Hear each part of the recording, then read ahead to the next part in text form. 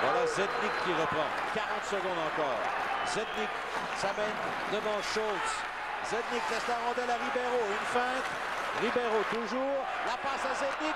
Le tir à but! Richard Zednik et le Canadien l'emporte 3 à 2. Première défaite du Wild en prolongation cette saison. T'as vu de quelle façon Ribeiro est dû... euh, on a vu la réaction de Rollinson. J'ai l'impression qu'il réclamait une pénalité pour ce qui s'était produit dans le territoire du Canadien. Est-ce qu'on a nuit à son travail? Non. Il y avait cependant la présence de Markov qui était là. Lui qui avait quitté sa position de défenseur pour appuyer le travail de Ribeiro. Ribeiro est patient, il attend, il aperçoit Zednik.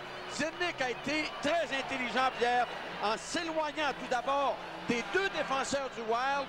Il a toute la liberté pour effectuer son tir. Va décocher un lancer à la droite euh, du gardien de but, Rollinson. Et Yvon, c'est un sixième but gagnant pour Richard Zednik cette saison. La marque finale est donc en prolongation.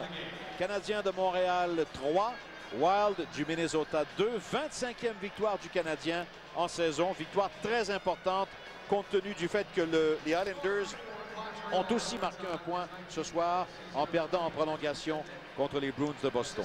Alors, on vous retrouve en après-midi cette fin de semaine, euh, chers amis, fin de semaine du Super Bowl. Monsieur Pedneau, merci beaucoup. Au revoir, Pierre. Et là-dessus, on retourne l'antenne à notre ami Alain pour le choix des trois étoiles.